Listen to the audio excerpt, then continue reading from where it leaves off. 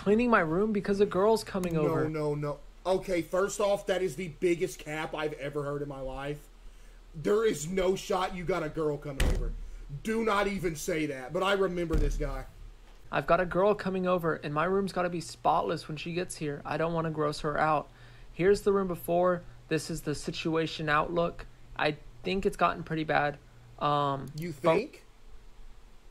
now I did finish all these cokes, these Dr Peppers. I told you guys I would. I'm taking them down.